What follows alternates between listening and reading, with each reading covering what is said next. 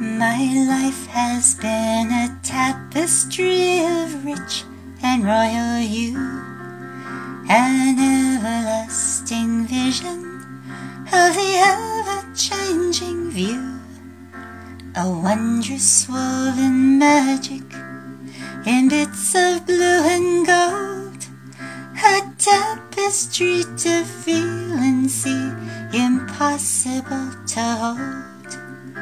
Once amid the soft silver sadness in the sky, there came a man of fortune, a drifter passing by. He wore a torn and tattered cloth around his leathered hat, and a coat of many colors, yellow, green on either side.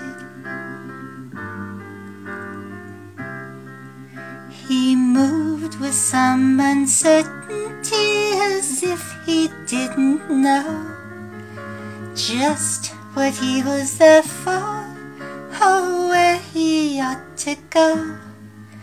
Once he reached for something golden hanging from a tree, and his hand came down empty.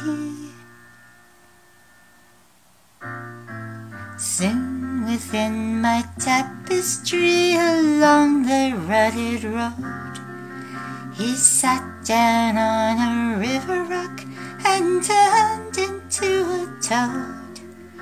It seemed that he had fallen into someone's wicked spell, and I wept to see him suffer, though I didn't know him well.